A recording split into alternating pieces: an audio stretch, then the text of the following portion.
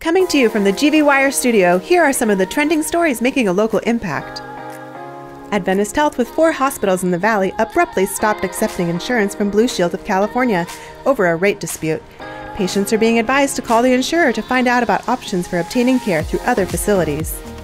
Residents of Huntington Boulevard are hoping to bring colorful seasonal displays back to the distinctive Fresno neighborhood. Plans are underway to once again decorate the boulevard's grand historic homes and welcome visitors to what will be known as Candlelight Lane.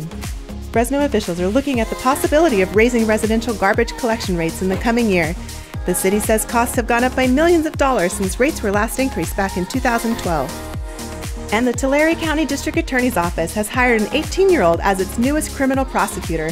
The young man who attended law school and high school at the same time set a record for being the youngest person ever to pass California's bar exam when he was just 17. Remember to tune in to Unfiltered, GV Wire's live weekly talk show where you get to interact with the newsmakers. That's Unfiltered, Tuesdays at 6 p.m. on GVWire.com and on Facebook.